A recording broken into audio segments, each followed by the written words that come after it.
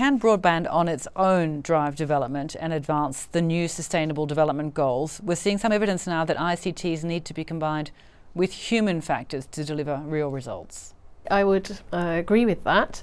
Uh, this report provides plenty of examples of how broadband and ICTs more generally can be used to uh, improve development outcomes and deliver real services that people really need. Um, however, I think it's very important not to lose sight of the fact that human creativity and human ingenuity, and above all, human motivation, are, are needed. That's what drives development. Um, technological solutions are only part of that answer, and it's very important not to lose sight of the human element.